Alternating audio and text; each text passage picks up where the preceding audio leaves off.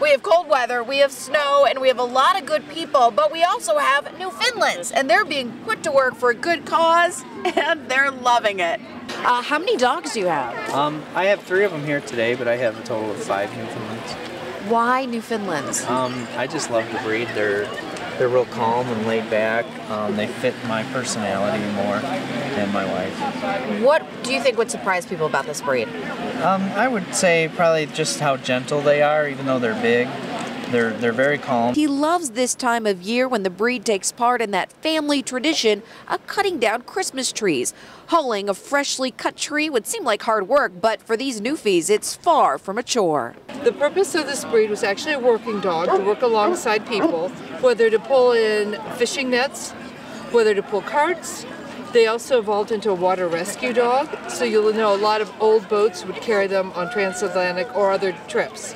So if someone went overboard, the dog, they're powerful swimmers. The dogs would swim out, bring the dog, the people in.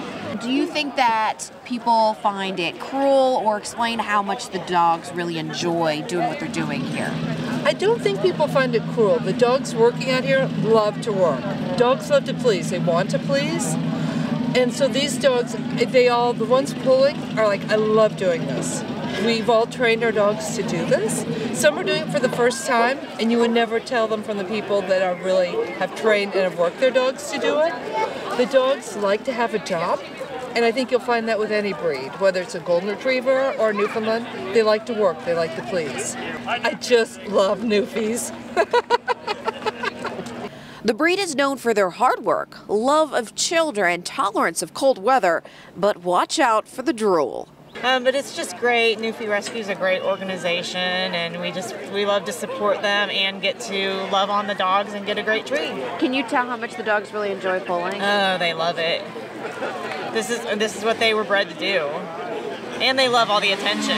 As you can see, there's a lot of dogs working, and they're loving it. But know your breed, and this is a working breed. For Pet Pals TV, I'm Erin Murphy.